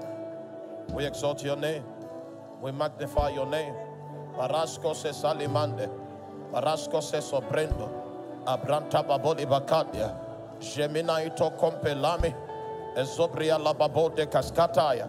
Abraskendo se masila halabonde. Yatosketo mesosi. Abranta basubarato. Encomenantalia. Asavina kosketama. Raka batala babonde. Yeko samanda. Yeko seminaila. Amprekaskute barakanda. Oh, we give you praise. We give you glory. In the name of Jesus. I see an arrow. An arrow being shot. A very bright arrow being shot from a bow. And I began to ask God, what is the meaning of this sign? And he told me that there is someone in our midst that is going to shoot out. A, someone is going to release you into your mission field. And the mission field that I'm talking about is not around Benue. It's going to take you away from Benue State to a mission field. To a mission field. A mission field. So the, the, the, the reason why he brought you into this service is so that he can empower you because he's going to send you out. He's going to release you out. And as I'm speaking, the anointing is already coming on the people implicated by this utterance. Is coming on the people, coming on the people implicated. So, ushers, when you begin to see them, when you see those people, you bring them to me because I, I, I have words to speak over their life. The anointing is already descending on the people. It's descending already on the people. It's descending already on the people. It's descending already on the people. It's descending already on the people. It's descending already on the people. He will move you out.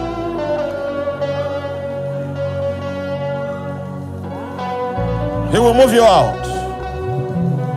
Because he wants to shoot you like an arrow. And grace is coming upon you. Iaseki lobonde babarakatala.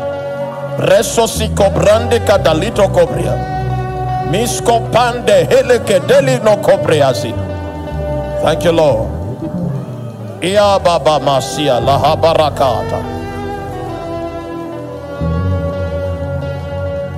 In the name of Jesus. The Lord shows me a sign. He shows me a sign. Oh, Jesus. It shows me a powerful sign in the spirit. And the sign points to yesterday. Yesterday night. There's somebody here. You had an encounter with God yesterday night in form of a very clear dream. You had an encounter with God yesterday night in form of a very clear dream you have not been able to fully decipher the meaning of that dream. Uh, he, he, he wants me to, oh my, he wants me to meet you. Someone yesterday you had an encounter, very clear dream that you had from God yesterday night. If you are the one, please come. Michael Sila Marakademo. Isamantoria Barakoskito. Oh, Jesus. Jesus.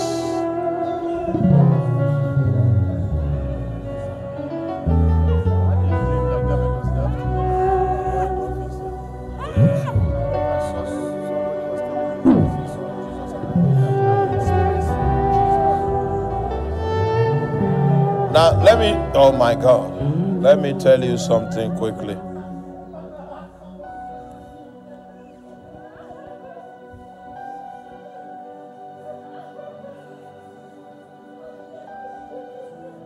When new seasons open, I see angels with shofars blowing it. And I can tell you with authority that a new season has opened. And in this season, Jesus wants to glorify himself. And so he's beginning to encounter people afresh. Oh my God. He's selecting a new set of people, promoting people, encountering people afresh. So that's what is happening to you.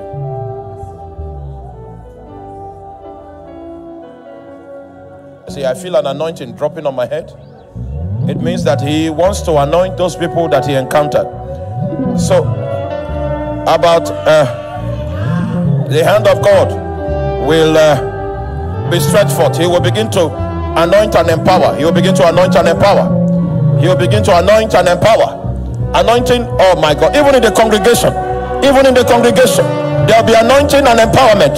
Anointing and empowerment. Anointing and empowerment. Holy Ghost, Holy Ghost, Holy Ghost, Holy Ghost, Holy Ghost, Holy Ghost. Anointing, empowerment. Anointing, empowerment. Empowerment. In the name of Jesus.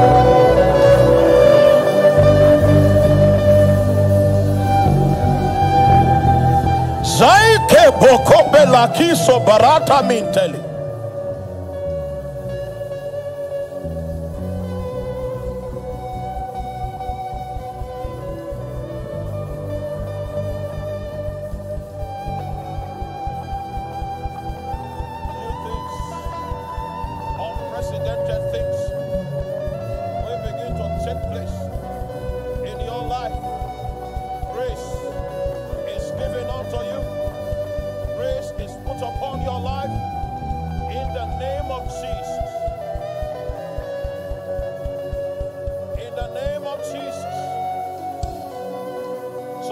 You, you can go back. Let new things begin. Let new things begin. Let new things begin. Let new things begin in the name of Jesus. Let unprecedented things begin in your life in the name of Jesus. In the name of Jesus. In the name of Jesus. In the name of Jesus. In the name of Jesus. Ah! Ah! New things. Unprecedented.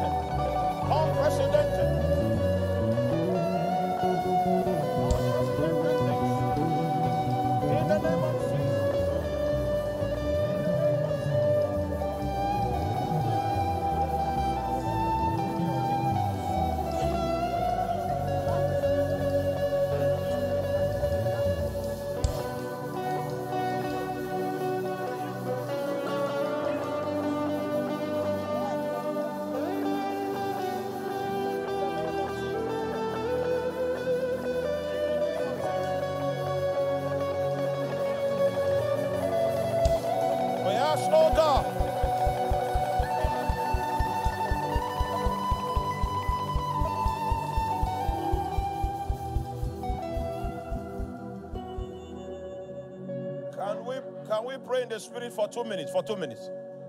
There's there's something I'm seeing, but it's not clear. Yes, Titus, come. There's something I'm seeing, it's not clear. Saikela Boranasi. Laskito Bela Kuria Barakatama. Shekosi Kabande Kadula Matele. Esuse Natia Tambo Rokose. Abraske Tobila Cantelia. Baranasiko. Oh! Hey! Saiko Bilala Masialando.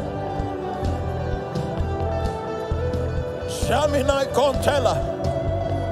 Shekatanda Babode Gasi. Abrasketo Mina Gasi. Abraskanta Baboria. Escuvina Gasi. Amante Tokebo Saliata. Escuzi Nagasi.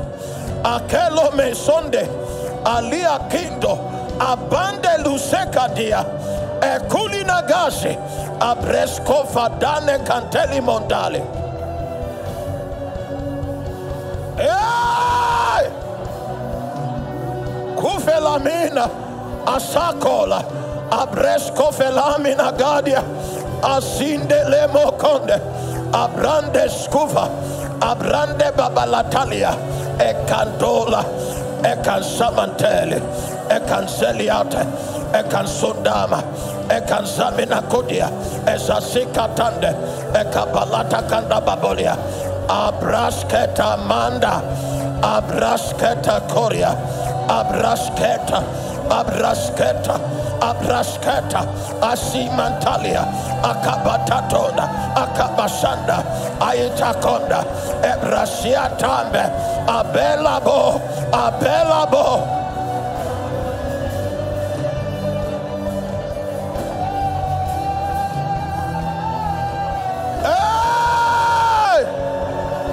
Koreala sukedalia. Ala la la la la la la. Ala la la la la la. Ah, Ala la la la la la la la. Esabala. Esabala. Rata babalatala. Akanda la baboria. Oh, we give you praise. In the name of Jesus. And I beheld in the spirit. And I saw an angel of the Lord high into the heavens, sent from above. And for the past 12 days, this angel has been visiting a woman. And the woman is not aware. But in the next 17 seconds, the angel will come again to that woman. And you will receive grace in a moment. One, two, three, four, five, six, seven, eight, nine, ten, eleven, twelve, 13, 14, 15, 16.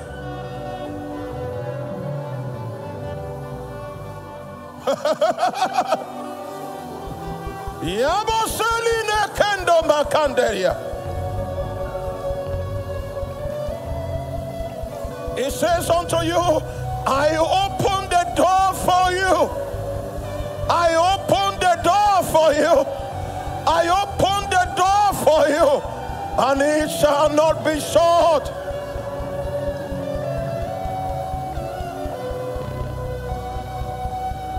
It shall not be shut. It will not be shut. It will not be shut. For I open the door. I open the door, and it shall not be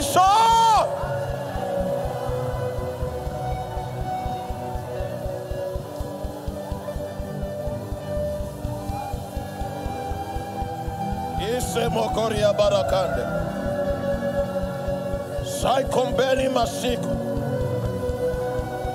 Shelikede. This is the reason for which he appeared unto you. To strengthen your hands. So that you can become his messenger in your family. Yes. He puts an anointing upon you. Grace on your vessel. Grace on your vessel. Grace on your vessel. Grace. Thank you, Lord.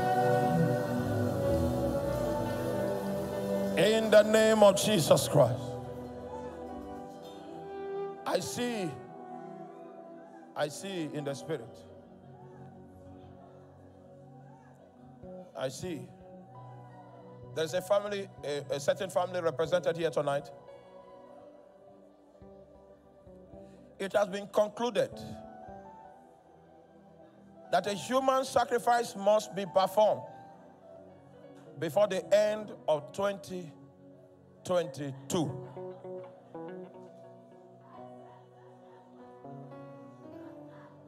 That is the reason why you have been having strange dreams, terrible attacks. Tonight, God wants to uproot that plan. You were chosen, you were selected to be the sacrifice. I know you will not believe, but in a moment of time, the hand of God will come upon you. Father, show me that one that have been selected by the anointing, by the anointing, by the anointing, by the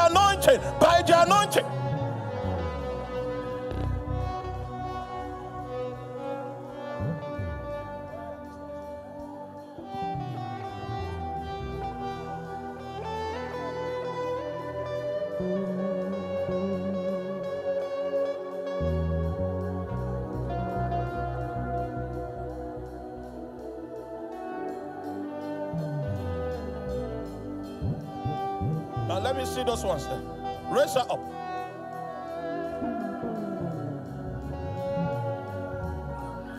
I destroy the yoke. Loose her. I refuse the arrangement, the transaction that has been done. And I release her from your grip in the name of Jesus Christ.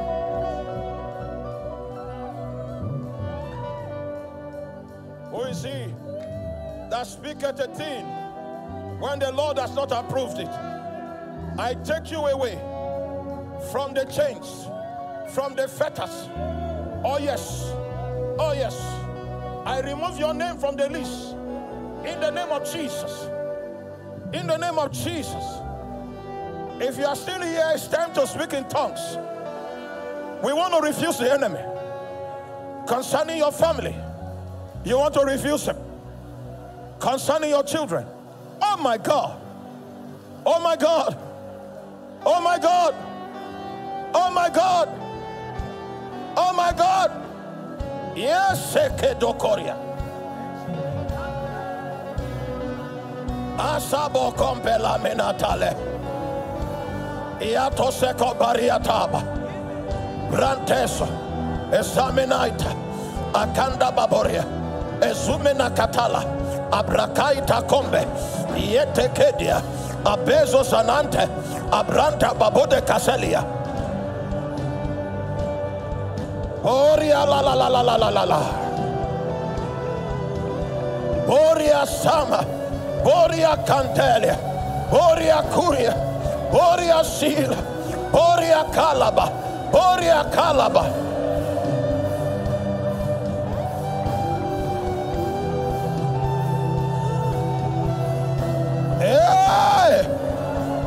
Rakata la la la la la baboria. Jenina kante babonda. Aikateli. Asua matala. Akandelo. Akadabo. Kadabo. Kadabo. Kadabo. Samentete. Eketelia. Kanse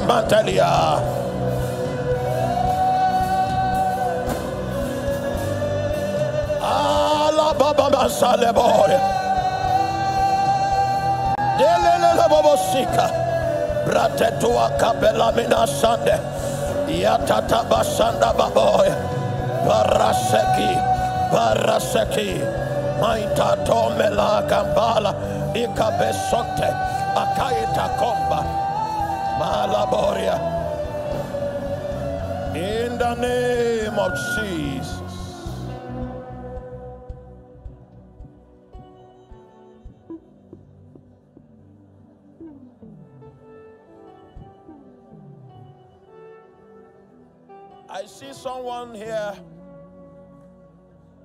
you are wearing an invisible cap. You are wearing an invisible cap.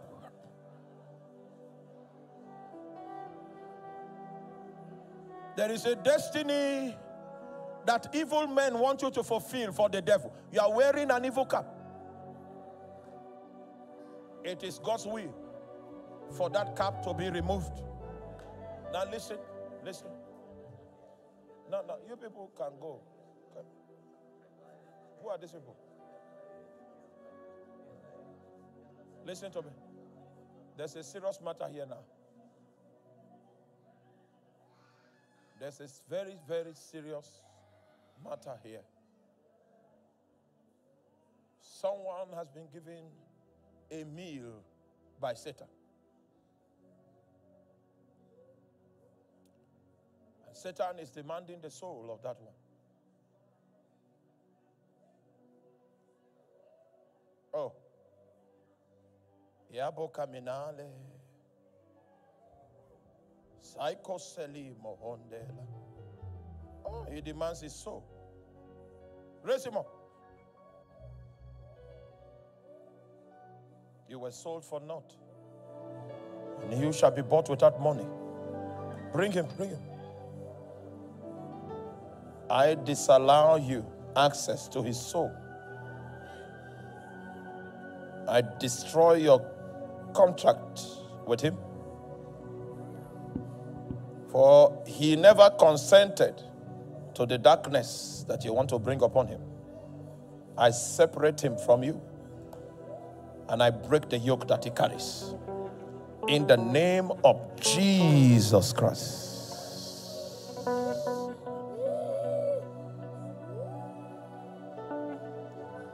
Someone is wearing a cap. A cap. A cap. You have been crowned. You have been crowned to undertake a task. A task. Oh my God. Oh my God. Just keep him somewhere. Keep him. Don't worry. Keep him somewhere. The contract will not work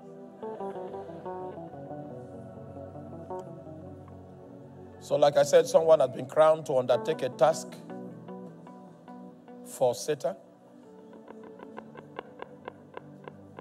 You may be aware, you may not be aware, but the angel of the Lord will pass through the congregation.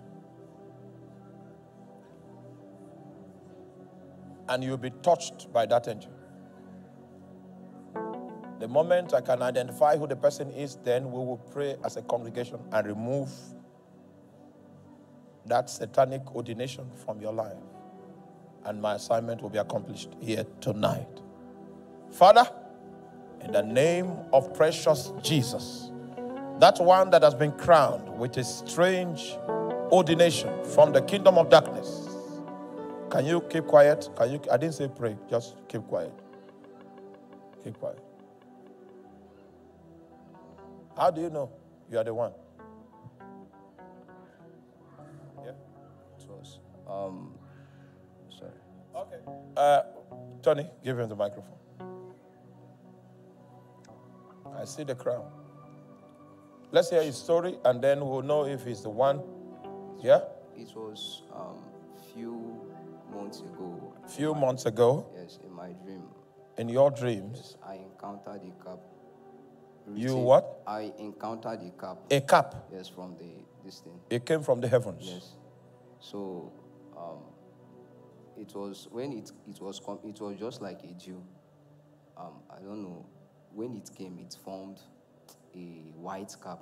This office, a helmet, cap, yeah, a, yeah. helmet written so many things on it. So from that time, I discovered that thing. When I woke up, I sensed so many things changed and things had changed yes, when you had um, that situation. Okay, you are number one. We want to. We don't want to accept that maybe it's just one person. It can be two, three. So you stand there. Father, in the name of Jesus. Okay, we have another one. Where is Pastor Tony? Have you gone on leave? Let's find out from. Yes. How do you know you are you are wearing a cap? I go Grace. I'm from a family of uh, native doctors. Okay. So when my father died, why, why did you say by God's grace? You are, by God's grace, you are from a family of native doctors. How I'm how sorry. has what has the grace of God got to do with? I'm sorry. Oh, Aikasimo Kelamo Karoposito. It's a sleep of All right. Yes. So what happened? So since then, I am somebody that they want to put on that. Okay, they want to put on that place. Yes, Okay, okay. already That's number two. That's number two. Yeah? So if you know you have been selected for satanic ordination, that is what I'm talking about. Maybe there's an altar. You were the one chosen to drive the altar. All right. We are going to remove it from you. And if your life is slow till today, it will become fast. Yeah, find out from that sister what is. Praise God. I've been under attack since um, I came to Adulam. I'm an, I'm ex Adulam student. For eight months, I've been under attack of a spirit. My mom served a deity. So the deity was haunting my life that I should come and serve her. And uh, not while long, they began to show me things about the kingdom of darkness. If I agree to serve, what they will give to me, and the, the things that I will receive if I accept to serve it. Most of the time, they will lock me inside. If the torment comes, it will be affecting my brain and my mind. Then sometimes my body will be moving as if I'm a. It's a cap. Yes? Find out.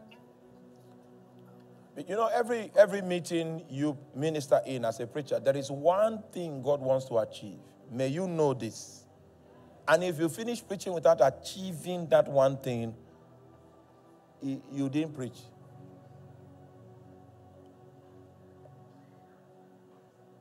Sometimes God is merciful. He shows us before we come out. Sometimes He doesn't. Then He just leads us as we. But make sure you achieve that thing. If, if for a long time you are not achieving what God wants to, you to achieve in meetings, your, the grace will begin to deplete. You will plateau. You will not be able to grow into higher levels of grace. Yes? Uh, in my dreams, I see my late grandfather Okay? holding me by the hand that we are going to church. Going but to he's church. taking me to a place like a shrine. It's taking you to the shrine. Yes, and there is a stool there empty. So most of the time when he comes, he's showing me that seat. He's showing you that. Okay, there's a stool that is empty. Yeah, that and he's showing you that seat. That, seat. that you are the chosen one. Okay? Um,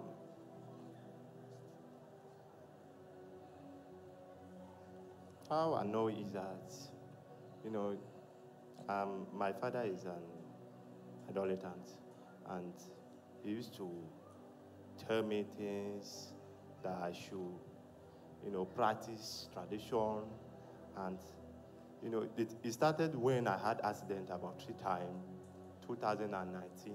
That Okay. was when I came here the first time at the They took you to the village. yeah, I had accident when I went to the village. Then my father said that it was uh, uh, Azor Obanji and Okay, they- the evil had to- spirit. The evil spirit is punishing you for not submitting. yes, and from then things. Did you submit? No, sir. You submitted small. no, I didn't, sir. Okay, great. I told my father that if it is because of that, then he don't have answer to my problem. So I left. Don't worry, we'll remove that cap. I'm hearing something.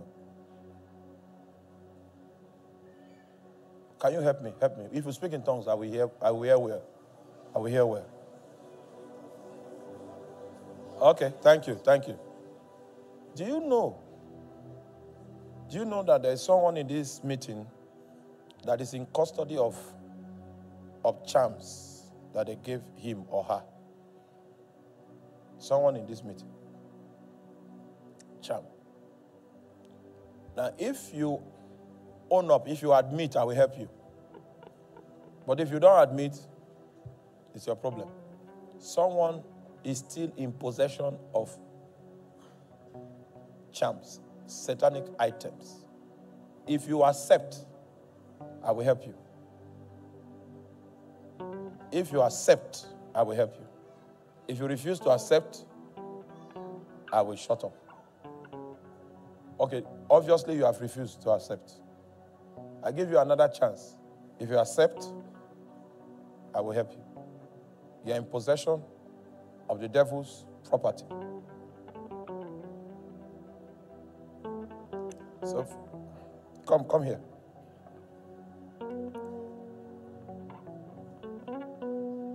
What's your story? My name, my name is Emmanuel. Manuel. Yes, sir. Agbo Emmanuel Oeju.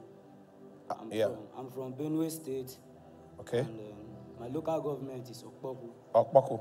Yes. Okay. From Ichama. Ichama. Yeah. Aukpe as a clan. Okay. Yes. So when I was coming He up- told her, Do you know this place he is calling? You know Ichama? Okay.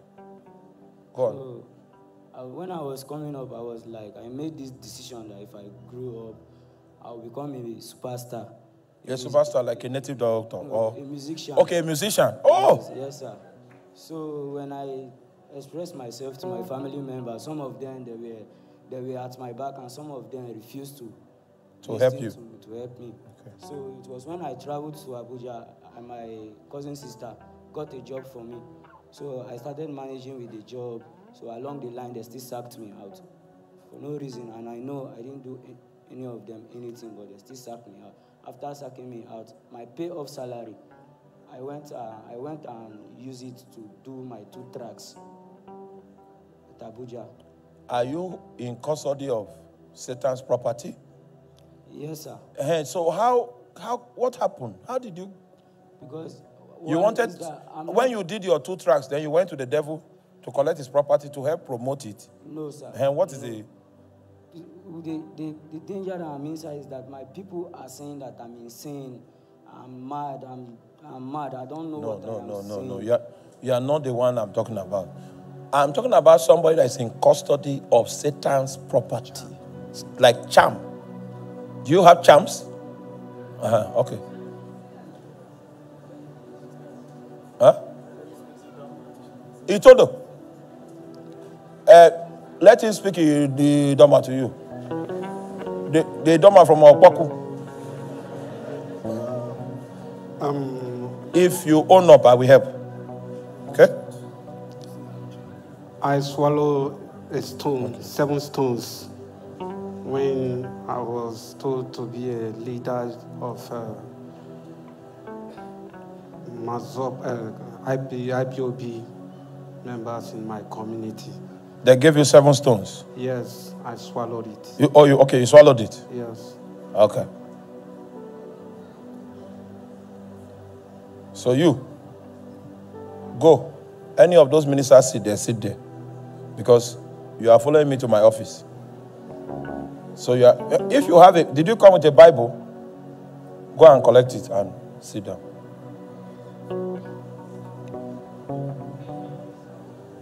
Yes, one woman here wanted to talk. Okay, finally.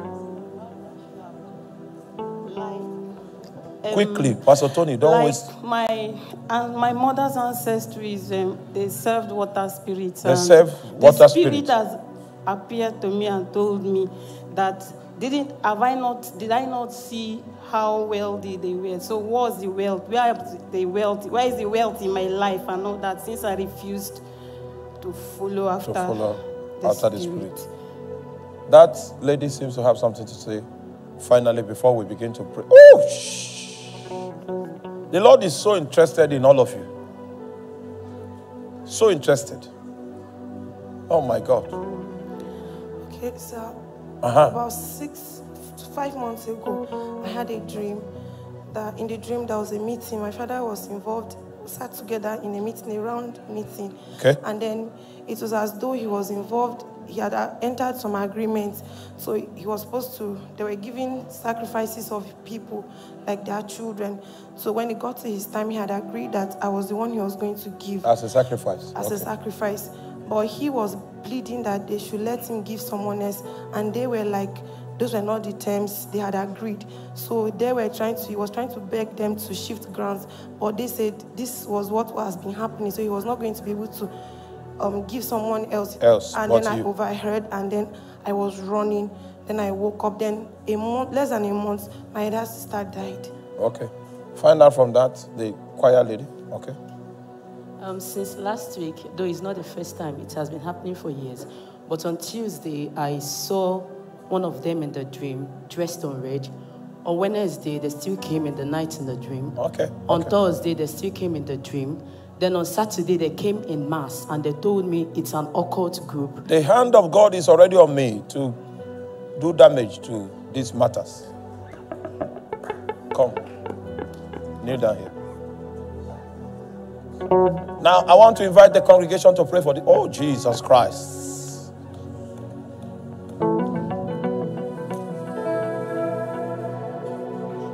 Ah. Seliko Bramahai. Stretch your hands and cry for these ones. Cry.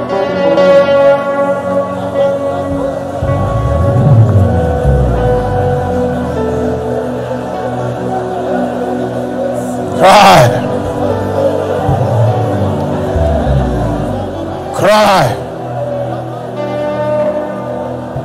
Cry. Cry for them. Iasemine keboboriala. Eskufeta bekude. Mando berakaska somenaila. Asamantala babodika. Seli compesale. Asai compeli. Samonde lekedi. Amaya konda. Jose Mateli, Amoskia adokonde. Maya Casa, Ilambros Capelaina, Rade Koseka Dale, Rase Kande, Iama Moketa, Aria Kia Sope, Escopela Kida, Iscantalia, Iscantalia, Yetose Kabakute Makandele. Iso celebresco filamina. In the name of Jesus. Satan, these ones have come to take refuge before the Lord Jesus Christ. And before, because they have come to take refuge, I demand that you let them go.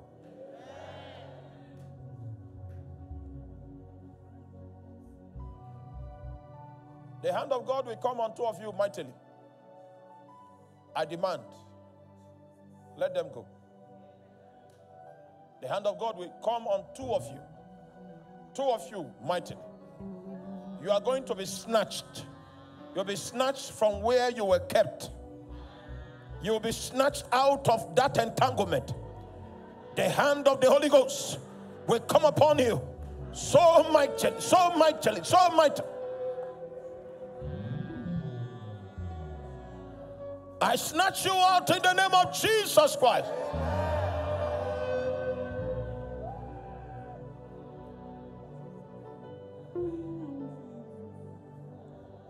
I forbid that these demonic appearances will continue.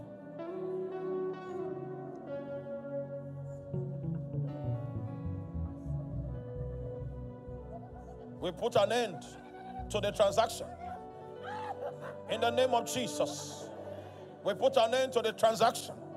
In the name of Jesus.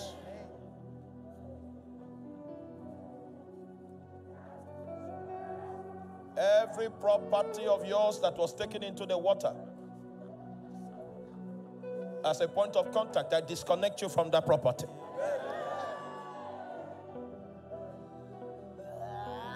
Come out of where you were kept, come out of hiding in the name of Jesus. Come out of hiding. Come out of hiding. Come out of hiding. In the name of Jesus Christ. Come out of hiding in the name of Jesus Christ. The Lord gives you new life, He gives you new grace. It changes your story. In the name of Jesus, let the yoke break.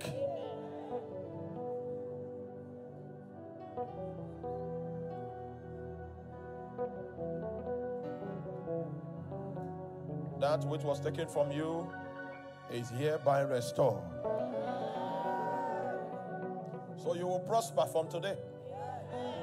The things that were impossible for you will become possible. In Jesus'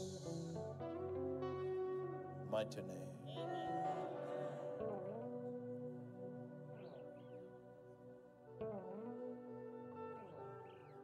Thank you, Father. Thank you, Lord.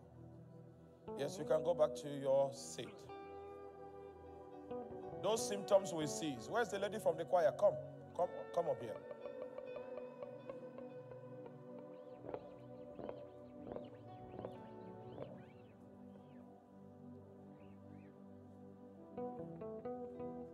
Okay, go.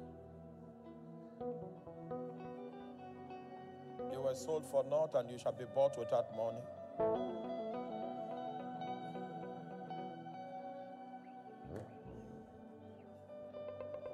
That which was taken from you, we demand is restoration. Psychopeli masanteli. Psychopresco fala mandeli. Shekilato broko bokoria babaranteli. Oh, gia mantali. That which was taken from you, I command it to be restored to you. The name of Jesus Christ. The yoke breaks from off your life. Grace.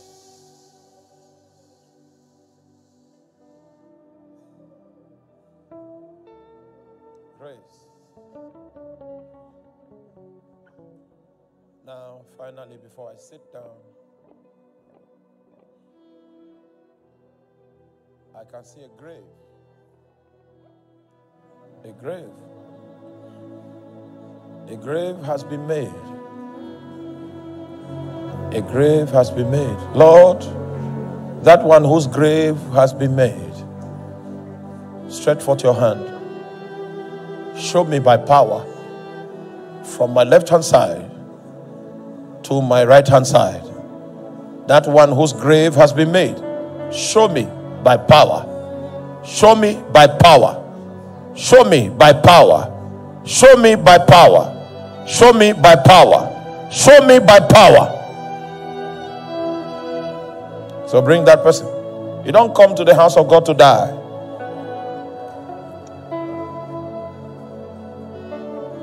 You come to the house of God to live. No debt is allowed here. No debt is allowed here. No debt is allowed here. Bring the person to me. We cancel it. Whenever the year is about to come to an end, there are so many transactions. Oh! Safride Bokoria. Mantekuria Bahasali. Those of you online that indicated that you were chosen to fulfill a satanic ordination, I cancel it in the name of Jesus Christ. You don't come to the house of God to die.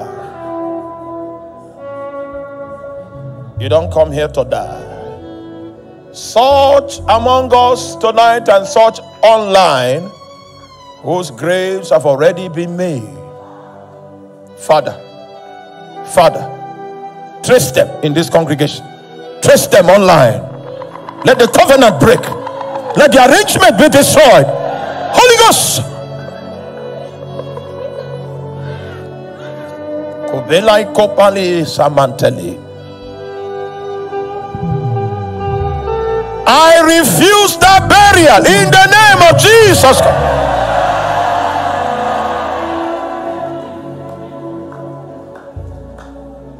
I refuse that burial.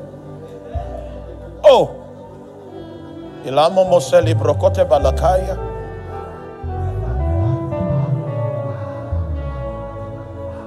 The last time I checked, Satan never created anybody. So he cannot be saying the truth if he say this one belongs to us, this one belongs to us.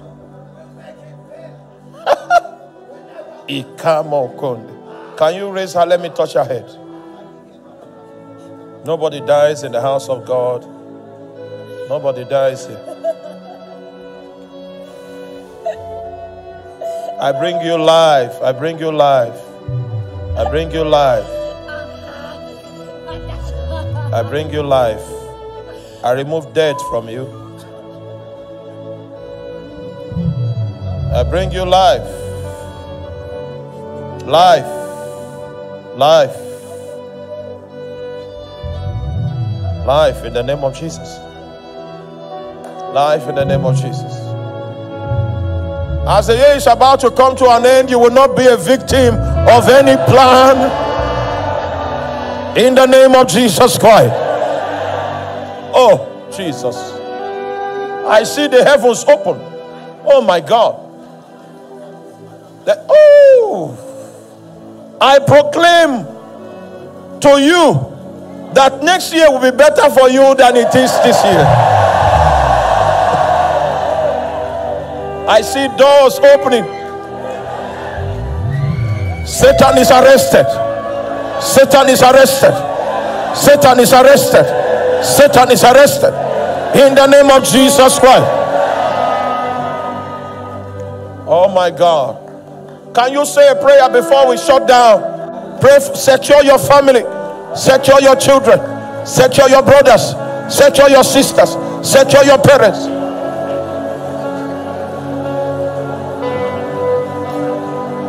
Aike sama kuria barakasemi. Ikosetia lebronde. Agabe sia cantelia. Mante kobilama. Shai komparasi kobrasketa bandeli. Alanana mama soketale. Oria kesime. Presko felama. Izai tokombe. Ikatama taladada kansala. Gobre satola. Gobre menekantele. Gobre sama santa baboria. We give you the praise. We give you the glory, Lord. Elia sonte malia candelo boroli. In the name of Jesus.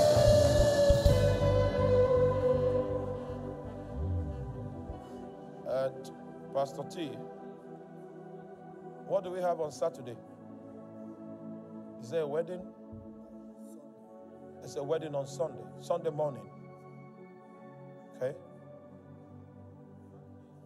Saturday is free. All right. So do me a favor.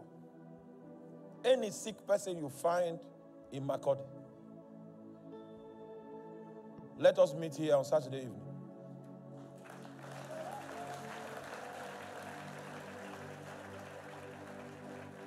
I use tomorrow to rest to finally recover. Then I'll start prayers from Friday morning till Saturday evening. Is an end of year package.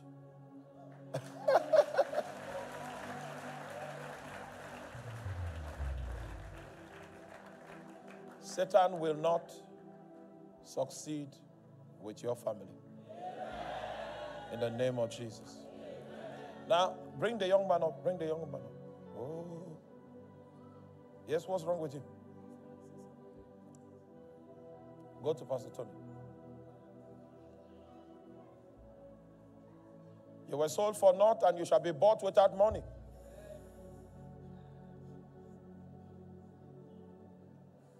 I called you forth from where you were kept.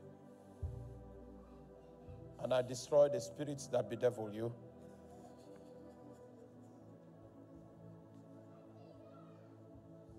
The dark power of Satan that spoke through your vocal cord right now, I arrest.